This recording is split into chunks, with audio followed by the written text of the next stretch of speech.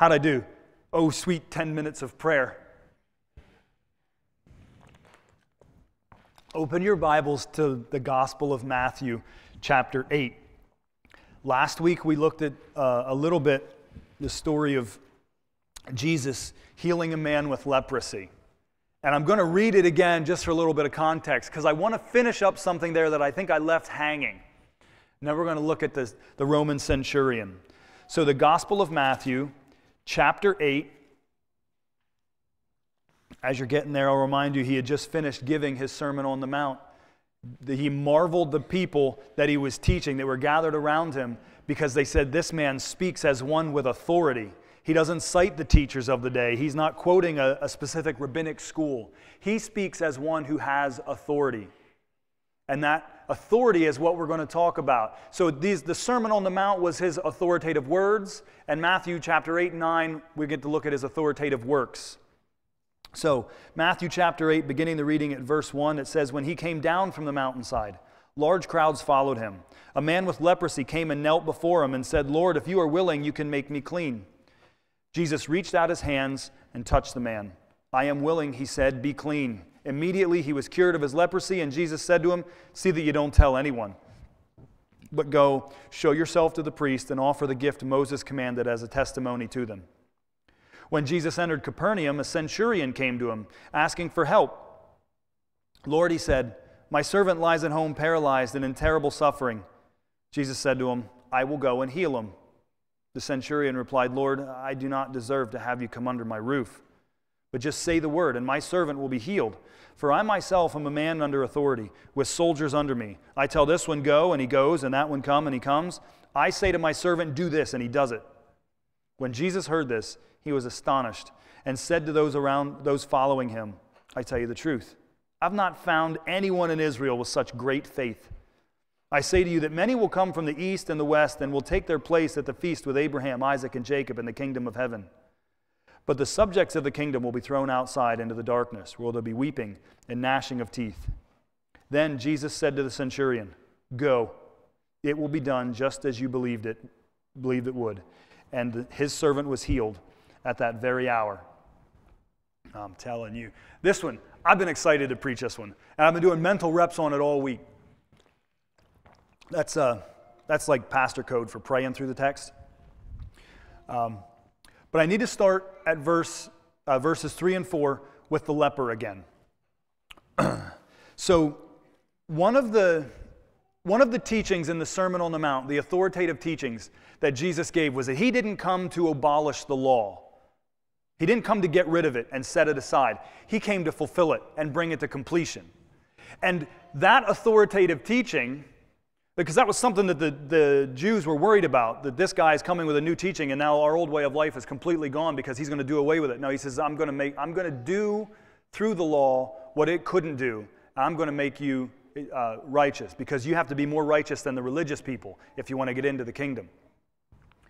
So, this man comes with leprosy before Jesus, and he's literally a dead man walking. That's how he was regarded. The historian Josephus wrote around the first century here, first, second century, sometime in there. He said when a man was diagnosed with leprosy, it was as if he were already dead. He's a zombie. He's a dead man walking. They're waiting for the sentence to be carried out. In the Middle Ages, so you fast forward 1500 years, 14, 1500 years, when a man was diagnosed with leprosy, the priest would don his stole, grab his crucifix, walk to the man, and pronounce the burial rites over him. It was a hopeless scenario. He was a dead man walking. This leper comes before Jesus and he says, If you're willing, heal me. Jesus heals him. Jesus touches the dead man. Now, this is the cool thing. That there are 61 touches in the Old Testament which will make a man ceremonially unclean. 61 touches. The number is not significant. What is significant is that leprosy is the number two uh, defiling touch, only to a corpse. So, an actual corpse and a living corpse, a corpse to be, are the two most defiling touches in the Old Testament. At, in Luke chapter 7, Jesus is going to touch a dead body and raise him up to life. And here in Matthew 8, he touches a living dead man and he brings him and restores him. And when he does, he says, Now, go to the priest in the temple and make the sacrifice that Moses offered. See, in Leviticus 14, there was a provision, an allowance made for the miraculous healing of leprosy. There was a required sacrifice that you would make. Take a couple of doves, kill one under running water, sprinkle the one, the living with the blood, and there's hyssop involved, and there's cedar wood. It was a complex ritual. And then you let the, the one dove you didn't kill go away, and this will be the, the, this is the law of the Lord in the day of the leper's cleansing. And he says, Now, because I didn't come to get rid of it, you still have to do this because the law says when you are miraculously cured of your leprosy, you go do this. So he, to fulfill the law, not to get rid of it, sends him to the priest so that he can make the sacrifice in accordance with the law of Moses. And when he gets there, you're like, so what? Right? When he gets there, the dead man, the formerly dead man, goes to the temple completely healed, restored, not just physically, but now to society. He walked, they would have known him as a dead man, and now the one who was formerly dead stands before them, alive and cleansed and whole. They can't look at this guy anymore and say, You don't belong here. Because what Jesus has done in his physical life gives him every right to be there as much as any one person. And that's what it's like for all of us. We don't have any right on our own to stand before God. We live our lives in sin and rebellion, and we live outside of the camp, as it were, just like the leper. But because of what Jesus has done, what he pronounced over our life, healing and cleansing from the sin that we carried with us, because of faith in him, we can stand now before him alive and whole, more alive than we had ever been. We were dead men walking, now we have every right to be there as alive in Christ. And that's what Jesus did for this leper. he fulfilled the very law. And now, none of us have to kill two doves and under running water and sprinkle them with the blood of the other. And it's all because of what he has done. And he did it then. ready for your mind to be blown? He did it 2,000 years ago. And the work that he did, the blood that he shed, is effective today right? We believe in faith that what he did then somehow counts for us today so that we can look back to a finished work and we can receive the blessing today.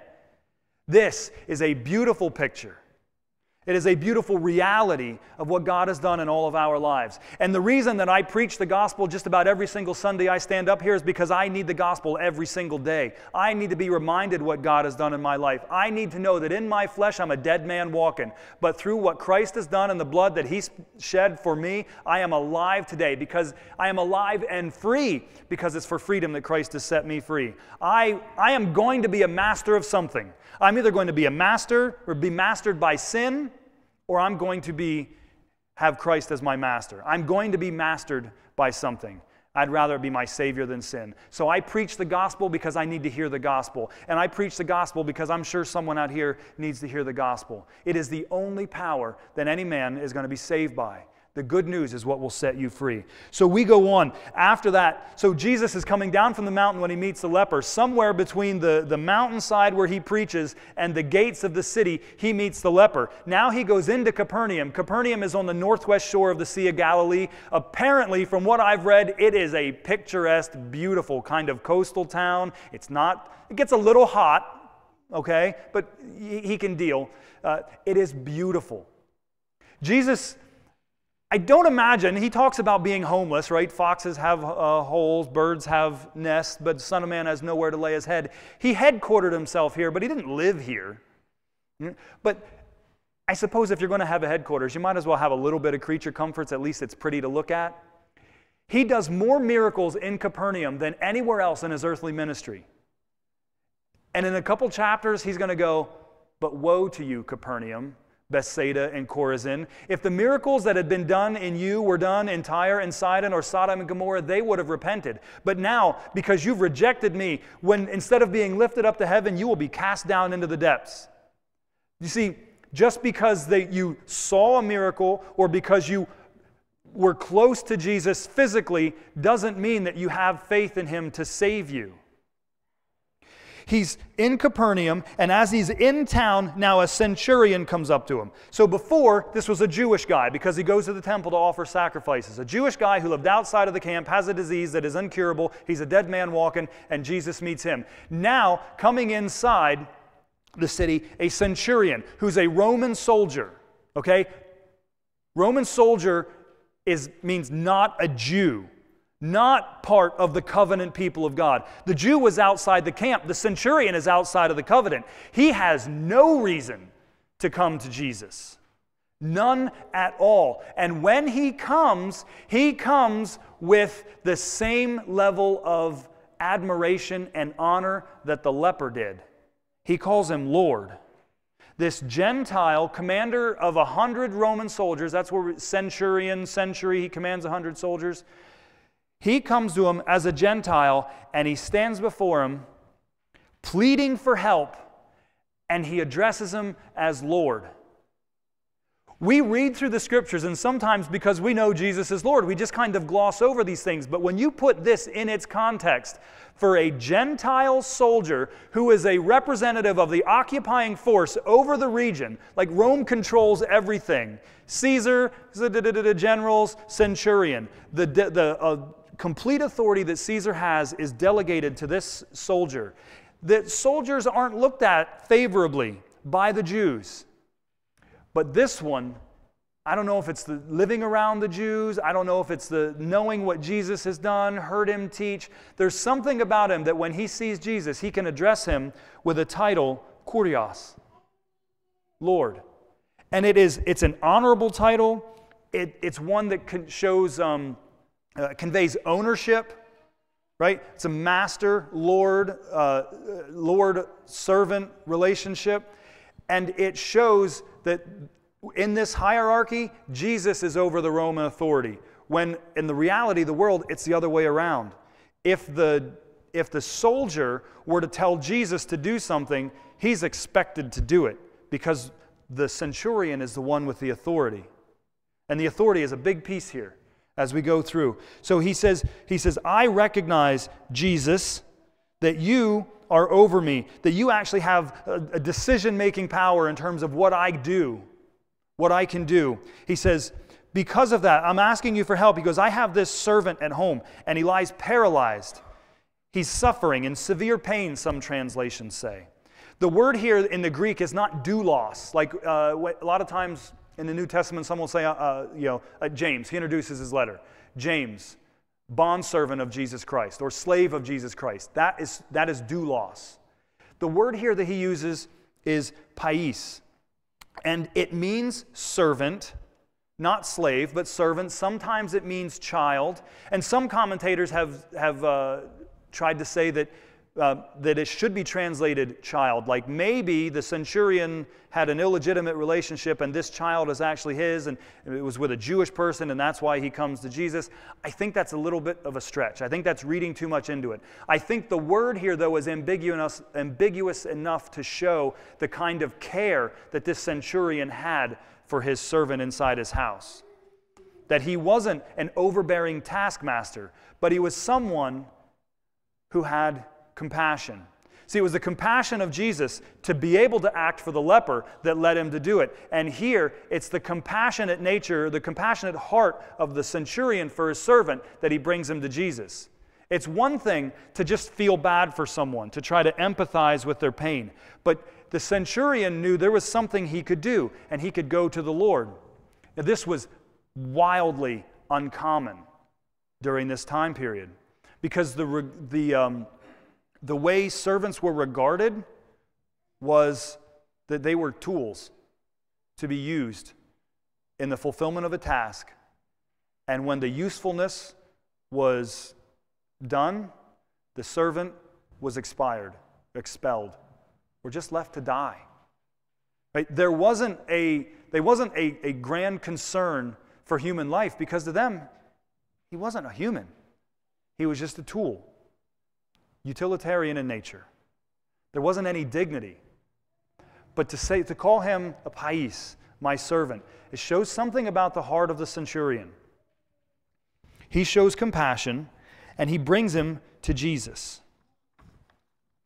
And Jesus says to him, after as he's pleading, Lord, he's suffering. He's in severe pain and paralyzed.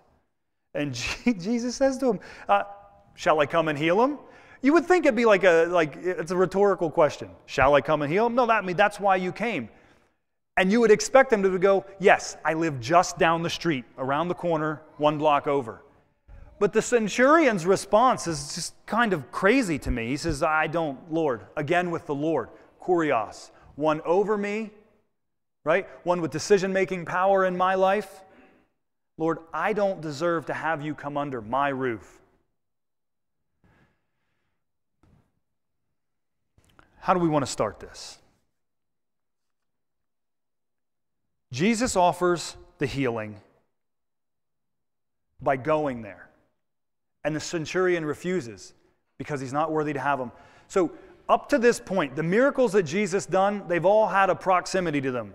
A touch, like the leper, he reached out and touched him. Some miracles, Jesus uh, would spit and make mud, rub it in a guy's eyes. Doesn't seem like a very good way to heal somebody. I've never had a doctor do that to me, but Jesus did it, so we're going to say it's okay, right? Uh, um, someone reached out and touched the hem of his garment. There was a touch. But it, when the, the paralyzed guy came down through the roof, when his four friends lowered him through the mat, there was at least proximity. The servant or the centurion recognizes something about Jesus that there doesn't even have to be proximity anymore. That Jesus, through a word, can heal from a distance. This is unheard of. This is not how these things go. If you're going to bring someone to a healer, you're going to bring them to a healer. The servant is at home, lying in bed, paralyzed and in severe pain, and it was bringing, to, bringing the need to Jesus. In great faith is what Jesus would say, in his ability to do it at his word from a distance. There's a, there's a recognition then as twice now he's called him Lord, when the Bible repeats itself, pay attention to it. There's a recognition of his lordship, of his position in the life of the centurion.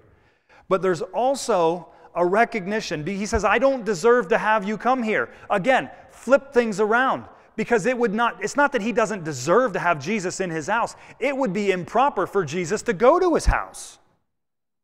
Right? He's a Gentile. They eat pigs in that house. They, they eat lobster and shellfish and other unclean foods. It's not proper for Jesus to go there according to Jewish law. But the centurion says, I don't deserve to have you come to my house. I wonder if anyone in here has ever felt like they don't deserve to have Jesus come to them, into their life, into their heart. I have. When I got saved, I felt horrible, like a wretch of a son because of how I felt about my father. And I was, as I hated my earthly father because what he did to me, I was being told that there's a heavenly father that loves me despite that. Like, look, my track, word, track record with loving dads, love, love towards dads, is not good, yet you want to come into my life? I'm not worthy. I don't deserve to have you here. I listened to a man. I told you about him last week. His name's Billy. He says, I deserve a millstone for the things that I've done. And all you have to do is read the scriptures to put that in context. He goes, I don't deserve to have the Lord come into my life because I deserve a millstone and he wants to give me a robe of righteousness. I deserve judgment and condemnation, and he's given me a pardon and grace. I don't deserve it. And the, the centurion recognized this. I don't deserve you, Jesus. Lord, someone in my life who I can not just look up to, but place myself under the authority of, trusting that with the decision making power that you have in my life, that you're not going to lead me astray. He goes, All you have to do is say it, right? And this isn't a speak a thing into existence, right? This is the centurion recognizing the authority of Jesus because the way it goes in a, in a command structure, right? In a, um, in a rank and file, there's a chain of command. Caesar's at the top, and he delegates his authority to a general, and a general delegate his authority to the centurion. And the centurions were known as the backbone of the Roman army. And he says, in the same way that I have an authority delegated to me, and then I tell other I tell people go and he goes, he recognized the same authority in Jesus' life, that he operates under the authority of a Father in heaven under a power greater than him. Jesus would testify, I don't, I don't say anything that my Father doesn't tell me to say. Right? Jesus is getting his marching orders from the top. And then he tells it as it comes down from the Father. The centurion recognizes this in Jesus' life. And he says, In the same way that I command my servants to go and he goes, and this one come and he comes, or do this and it gets done, you can command paralysis and pain. Wrap your mind around that. This morning, 6:53, Lily gets out of bed.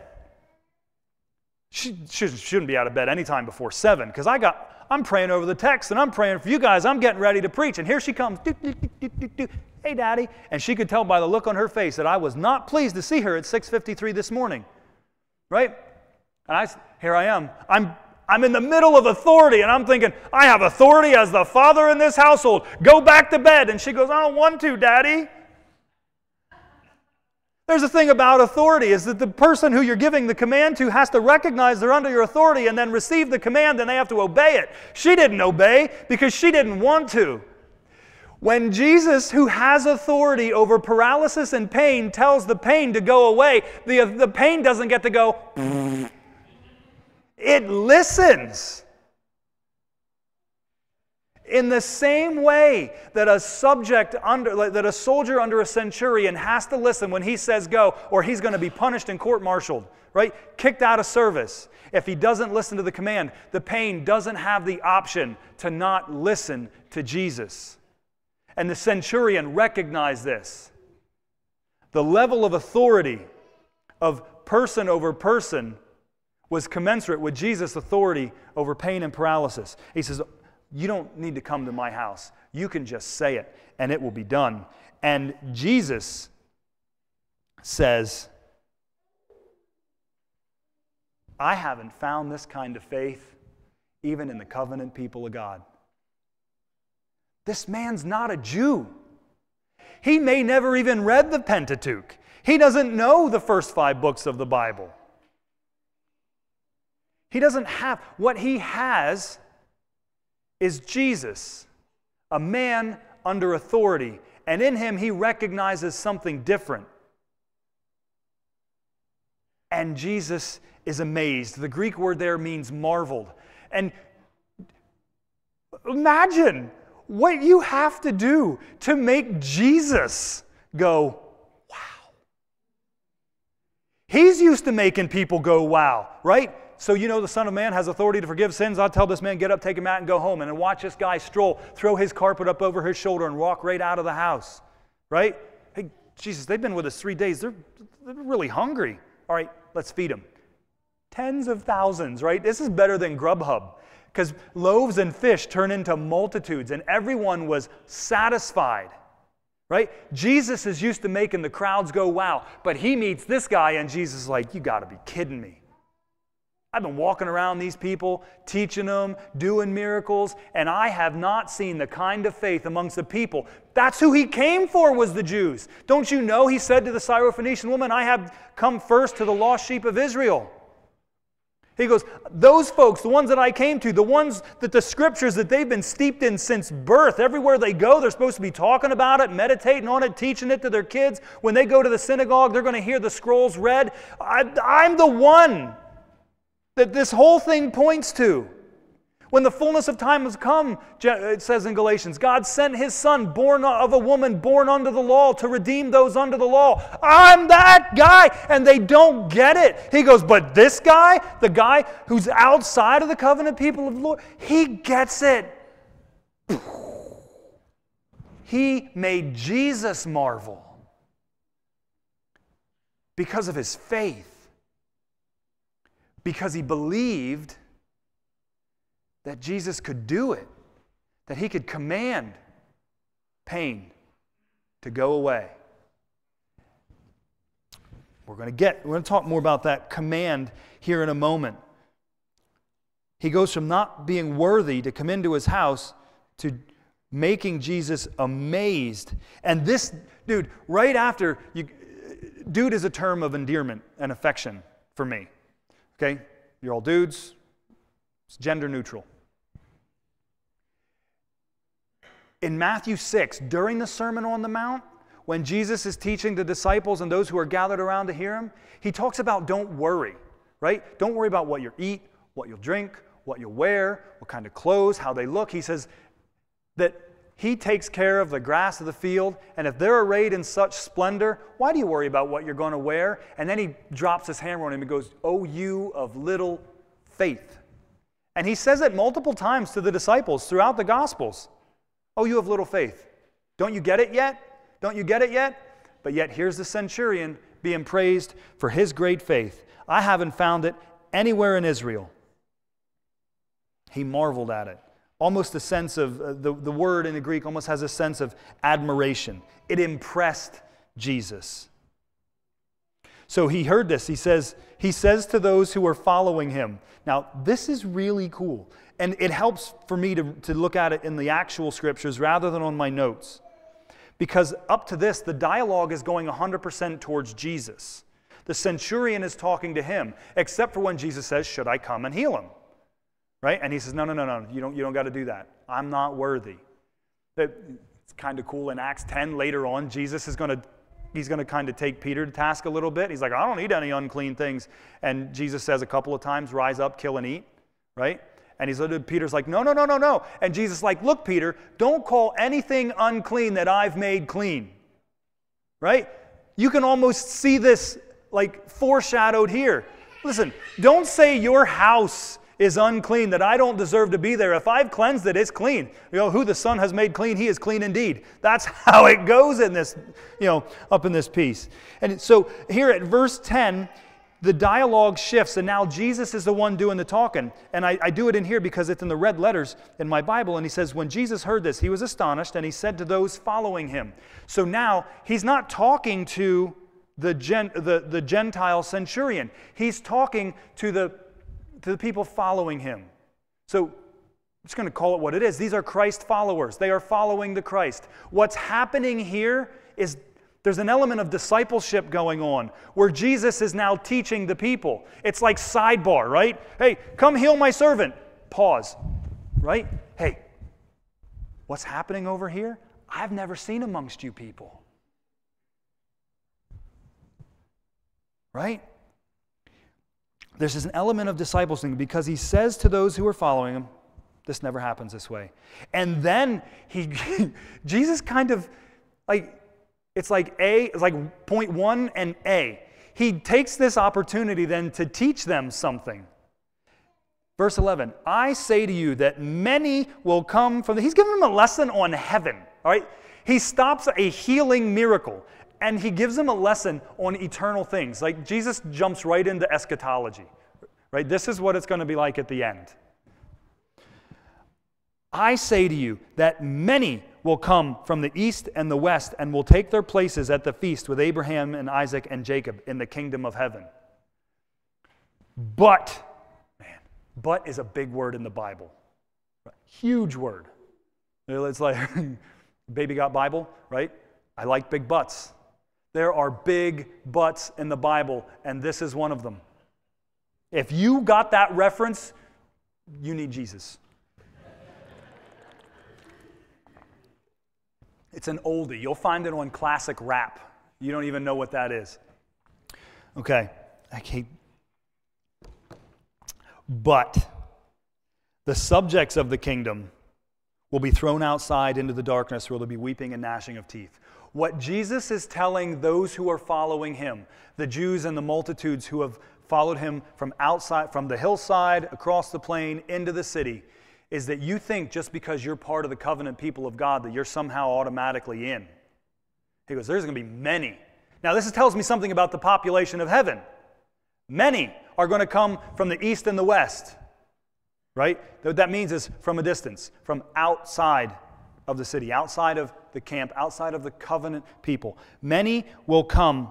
And this is based on imagery from Isaiah 25 and Isaiah 65 about the kingdom age, about what it's going to look like at the great banquet uh, when uh, in the kingdom, when all God's people are going to come together and have the best foods and the greatest wine, and Abraham, Isaac, and Jacob are going to be together, and you're going to get a chance to sit down with, with Abraham, you know, like at dinner, and be like, hey, what was it like to be an old guy and to hear that like you're going to have a kid? Like that had to be pretty crazy, right? Like this th- this is what the Jews are expecting, but they're expecting to get there by virtue of birthright. And Jesus is like, newsflash, not how it works. Many will come, many, not a few from outside of here. There's going to be a lot of people. Here's the, here's the thing about heaven there's going to be a lot of people there when we get there. They're going to be like, seriously? Like, you made it? Did not see that coming. And then there's going to be people that'll be like, hey, where's so and so? And they'll be like, he's going to be like, I don't know. Wasn't here. That's a sobering reality. Right? Because that second group of people is who Jesus was talking to. That when they, you know, that when, you know, the centurion gets there, he's going to be like, hey, where are all the people following you? He'll be like, Jesus, I don't know. I didn't know him. Right? You've heard me use this analogy before. Matthew 7, when Jesus says, um, Many will, will say on that day, Lord, Lord, and like, Didn't we prophesy in your name? And didn't we cast out demons in your name? And he was like, Depart from me, I never knew you. Right? Back in the day, I used to care about the NFL and I was a Steelers fan. ben Roethlisberger, you know, Big Ben, he's a quarterback. And uh, it'd be like me going up to Big Ben's house and knocking on the door. Excuse me, that one wasn't for effect. It's because I got a frog in my throat. It's like me going up to Ben Roethlisberger's door, knocking on it, and expecting him to invite me in for a barbecue and an iced tea. And be like, hey, Big Ben. He goes, who are you? I'm like, I'm Josh Wallace. What do you mean, who are you? Like, I, uh, I, I had a jersey that I had my name on the back, right? I used to wear it every Sunday when I would watch you play, right? I knew the Steelers fight song. I know about you. I know you where, where you went to school. I knew the colors of your college team. Like, I knew all of these things about you, right? I showed up on Sunday. I wore my fancy clothes. I sang the special songs. And I'm standing here going, barbecue. And he goes, beat feet, man. I don't know you. That's what it's going to be like for some, some of these Jews. That they're going to think that just because I'm a part of the covenant people of God, that, that I'm going to just show up and get there. Mm-mm. He goes, There's going to be a lot of people that think they're going to, that she, they should be there. But they're going to be outside in darkness. The Bible says Jesus is light, and he's a light of life, and in him there is no darkness. Okay? Paul in Timothy says that God dwells in unapproachable light. These folks will be thrown outside the camp into darkness, where there will be weeping and gnashing of teeth. Okay. In the Greek, there's a definite article before weeping and gnashing. So it's ha, weeping, and ha, gnashing of teeth. I don't know what the, those Greek words are. What matters here is ha means the. So this is, this is distinct there will be the weeping and the gnashing of teeth. And gnashing of teeth isn't what I thought it was. I used to picture gnashing of teeth like wolves, like on, or like dogs on the end of a chain, snarling, like rabid with spit coming down the side of their faces.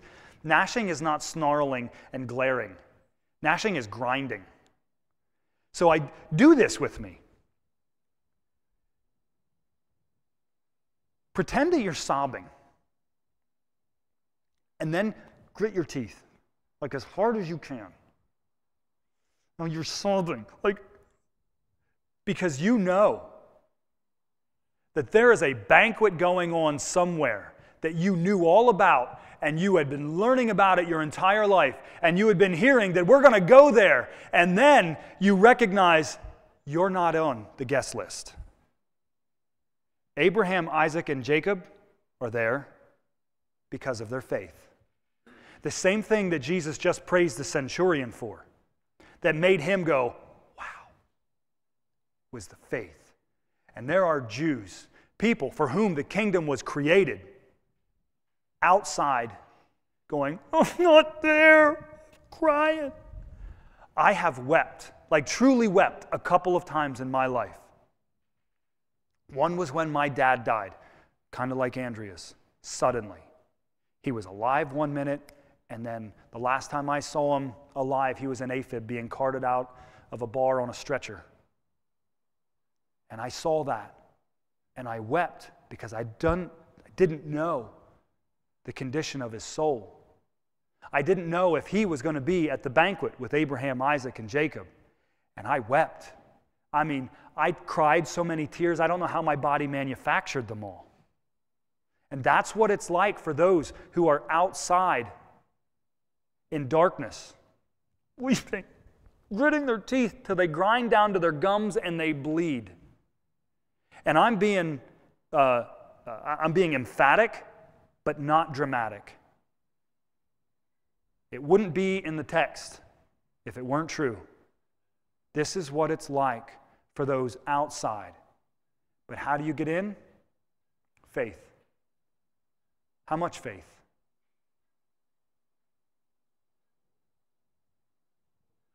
Enough to save you. Enough to look back at what Jesus did and receive then what he did then for you now. The Bible says faith as small as a mustard seed can move a mountain. But it's recognizing in faith, like the centurion, that Jesus has authority in your life. You don't just get to pray the prayer and then go on living any way you want, as if somehow that accumulates more grace for you. That's what Paul said. Right? The, the Bible, I believe, very clearly preaches and teaches lordship salvation that when you become uh, when, you, when you admit you're a sinner, you receive the grace that Christ gives you by virtue of his death on the cross, that he then becomes Lord of your life. And because he's Lord, he has decision making authority over your life. It's not a popular thing to say. It's a whole lot easier to come down front to pray a prayer, to even, I'll even put my hand on you. We'll make it look really good. But if the work isn't done inside your heart, that you recognize that Jesus is over you, it doesn't matter. I have heard of, I have heard of men who have pastored churches, pastored churches, who for 50 years did vocational ministry and then got saved sitting under the, pre, under the teaching of a pastor who would just preach the gospel. These things happen. I don't presume to think that because you grew up in this church or any church, that you sat in Sunday school for your entire life, that the gospel is something that you just received and inherited and heaven is somehow your birthright. It's not. Heaven is not an entitlement. Heaven is not an entitlement. It's not part of our American DNA. We are not, we are not entitled to heaven any more than the Jews are just because they're Jewish. Heaven is not an entitlement, it's a gift. It is a gift. And like any gift that you receive, you didn't pay for it, someone else did. Someone else paid the price to purchase the gift that was then given to you. And that's what Jesus says salvation is like. Heaven is like. It's like a, it's like a treasure in a field. That when you find it, you'll give up everything else you have to get it. Because that is worth more than everything that you have in your life at this present moment. That's the kingdom of heaven. That is salvation. It is treasured above all things. You can, that's how you can go through a bad day and have joy on your face because you're not living for today. You're living for eternity. When believers have an eternal perspective, and that's how Jesus can say that I'm going to build my rock or my church on this rock and the gates of hell won't prevail against it. You know what that means? I'll march into any single battle. Because come what may, I know my eternity is secure. You can't stop a church like that. There's no organization on the planet that even compares to what the, the promises that God has for His church in Christ. That gift was purchased for you. Jesus paid for it, and we receive it and we treat it as a precious gift because that's what it is. It cost Him His life. And because it cost Him His life to give me mine, I will serve Him not out of a sense of obligation, but out of a sense of love. That's obedience. The authority that He has in my life, I give Him, like I yield to it because I love Him and I know that He loves me. And I know that He's not going to ask me to do something that is going to cause, not cause me harm. I mean, people have served and been served Christ to the point of death. I don't hear what I'm not saying. I know that in loving service to Christ, bad things can still happen to me. Here. But the eternal weight of glory outshines any risk I take for Christ on this planet. And you know what? He's not calling, he could. He could call you to go to a mission field in the, you know, whoever knows what islands and preach to a cannibalistic people if they still exist down in the Amazon or something. But what he's calling us to do is walk across the street or pray for the server at, at dinner. When you go out to lunch today, ask him, hey, we're getting ready to return thanks for our food and ask God's blessing. Can I pray for you? Simple acts of obedience to let people know who you belong to, whose authority you're under.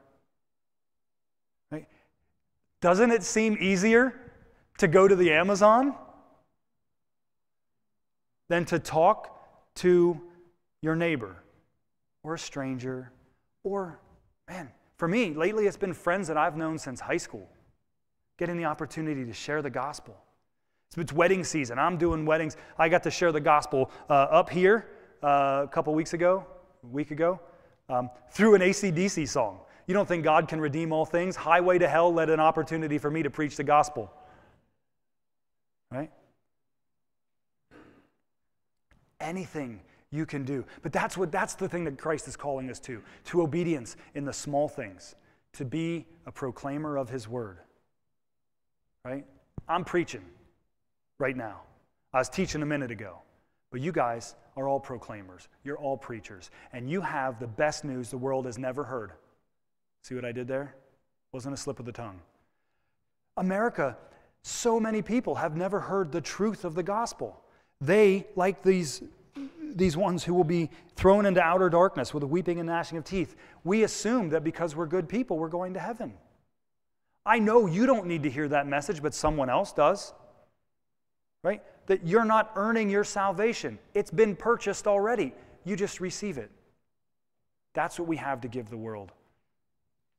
I don't even have time to finish this out because Jesus says, Go. He says, Look, it's already been done because you believe that it happened. Now, I don't get a chance to, to pick on the, the, um, the, the word of faith preachers, and I'm going to a little bit. Um, because this is not, all right, so I'll get myself into a little bit of trouble.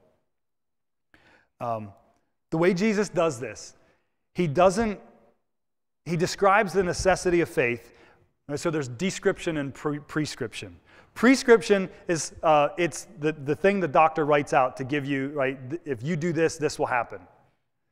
Jesus is, what's happening here is Jesus is, uh, Matthew's describing an interaction between Jesus and the centurion. The miracle isn't the point, the faith is the point. The miracle, Jesus does miracles all the time. That didn't surprise him, that didn't amaze him, that didn't make him marvel. It was the faith that the man had. And Jesus says, uh, preachers have been guilty of saying, if you believe it, if you have enough faith, it'll happen. All right? With the leper, Lord, if you are willing, you can make me well. Again, it's an unpopular message. People would rather believe if I just, they would rather think if I believe hard enough, I can make this thing happen. Like somehow I'm declaring or like, like making the Lord do the thing that I want him to do. If there's anyone that had enough faith to make the Lord do something that they wanted to just because they prayed, look at the Apostle Paul.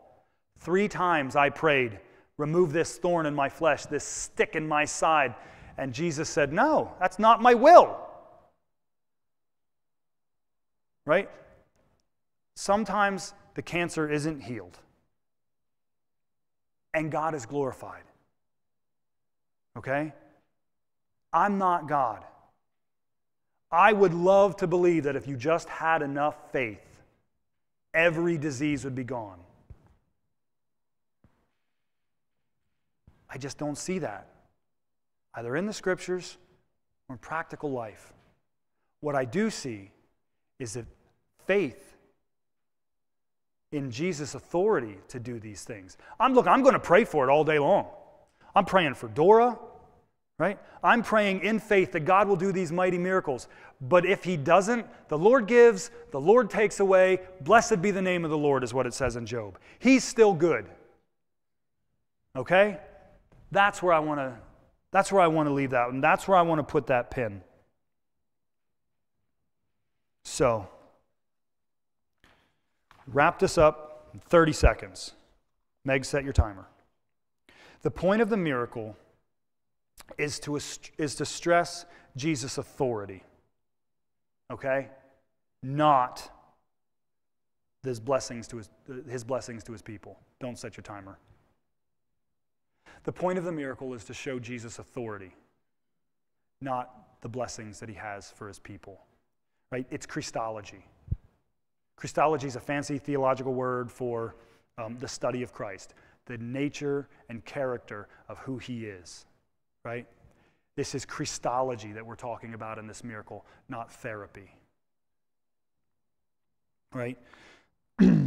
he can, Jesus can make us physically better, but that is only a signpost pointing to who he really is. Okay? The miracles testify to who he is and he's more than a miracle worker. Okay? He is a miracle worker, but he's more.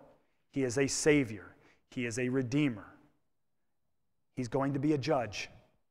Okay? If today, like I'm sure there's people in here that are praying for miracles, that you want miracles, but I'm telling you that if you want a miracle more than you want salvation, you don't understand salvation and what he did for you on the cross. Because the first miracle that gets done in any person's life, or the greatest miracle that gets done in any person's life, is to be a dead man walking dying in your sins, and then being raised to new life with Jesus Christ.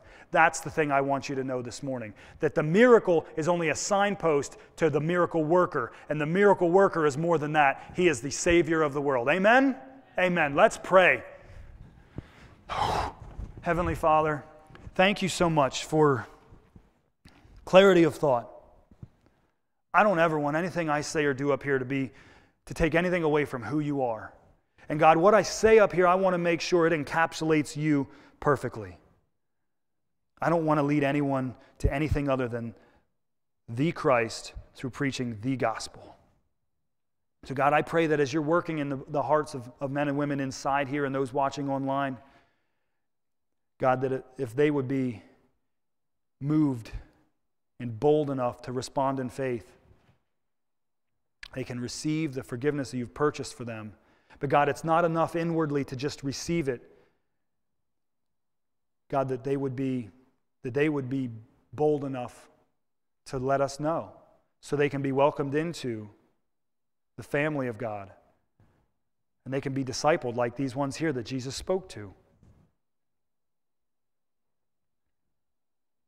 Because you've given us salvation individually and the church corporately that this would be the, the means by which your kingdom would spread on earth until you come for us. God, thank you for the work you're doing and the work you'll continue to do. And thank you for the example of great faith through someone who didn't belong, just like me. But because of your great love, you've welcomed us in. In Christ's name I pray. Amen.